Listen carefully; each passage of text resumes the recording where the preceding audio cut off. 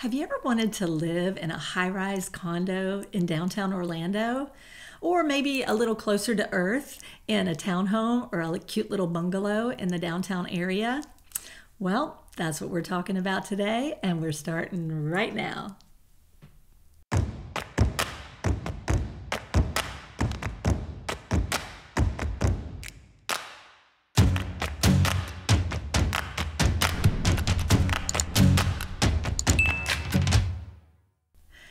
Hi there, what is up? I'm Kathy Williams with HomeVest Realty here in Orlando, Florida. And if this is your first time to my channel, welcome. I'm so happy you're here. And um, if you're interested in the Orlando lifestyle and all things real estate, then you might want to subscribe to my channel and click that bell, and that way you won't miss out on any upcoming videos. So today we are talking about downtown Orlando living. It's kind of fun. I love downtown Orlando living. And let's just start in Lake Eola. I love walking around downtown Orlando. Lake Eola is my go to place. It's the centerpiece of downtown Orlando. People call it O Town for short.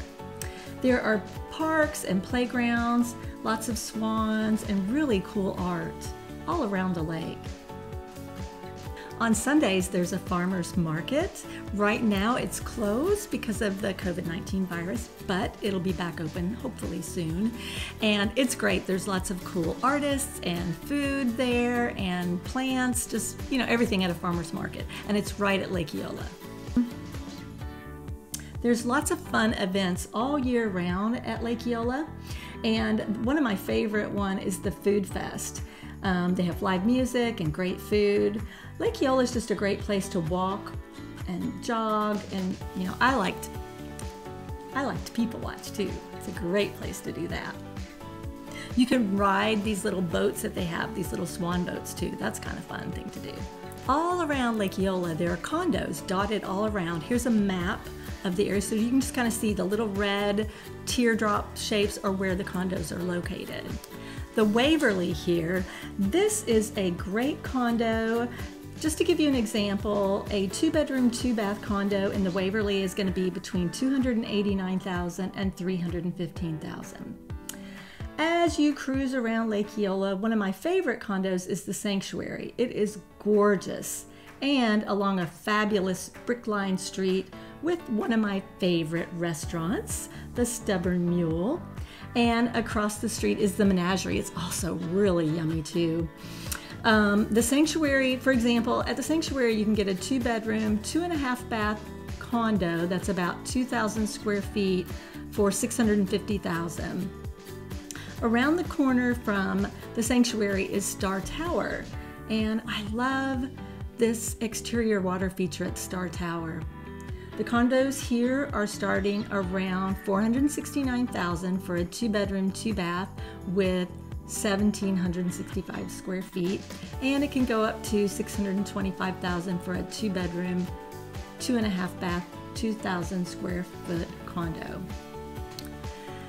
The views are great here with floor to ceiling windows, and you just look out and see all over downtown Orlando. It's spectacular. But it's what makes it a really great place to live, along with just the neighborhood area that it's located in. The Solaire is smack dab in the middle of all the Orlando action. I mean, there is everything right there the restaurants, the shopping, the entertainment.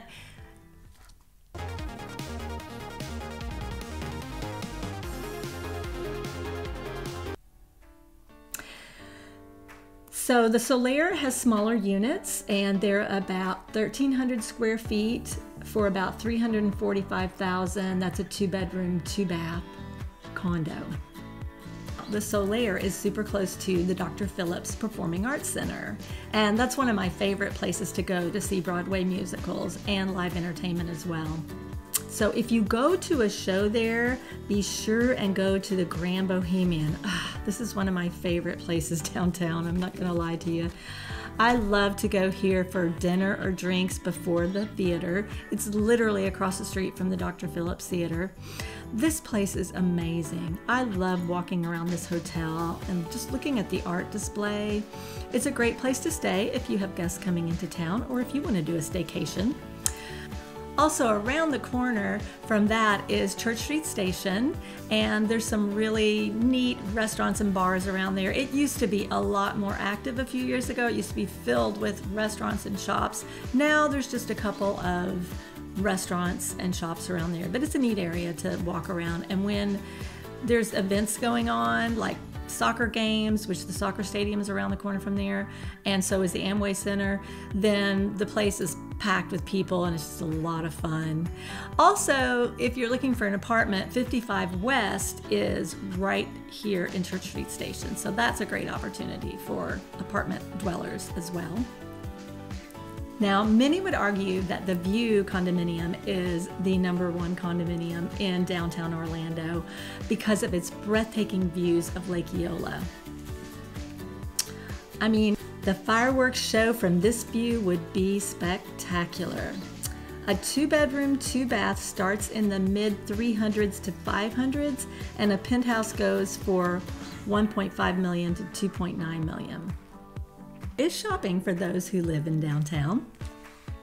Restaurants are in abundance, of course, and there's also groceries like Publix, pharmacies like CVS, and of course, lots of nightlife.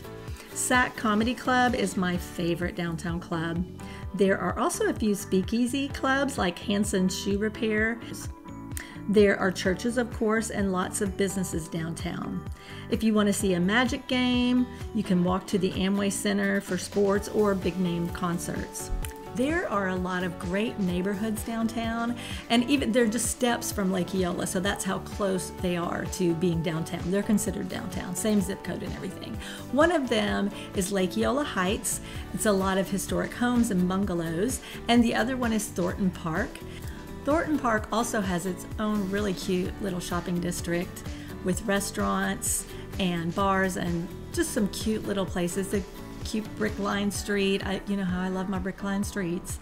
And um, there's just some cute places to walk around, literally steps from Lake Eola, steps from all those high rises. And there's cute little homes and bungalows that you can live in in that area as well if you don't want to be as high up the ground. Also, around the corner are some beautiful townhomes that can be found in, in downtown Orlando. So there's a lot of options for dwelling in the central area of Orlando. And there's a lot of employers downtown, so there's a great reason to want to live downtown and not have the commute into the downtown area. Would living in downtown Orlando be something you're interested in?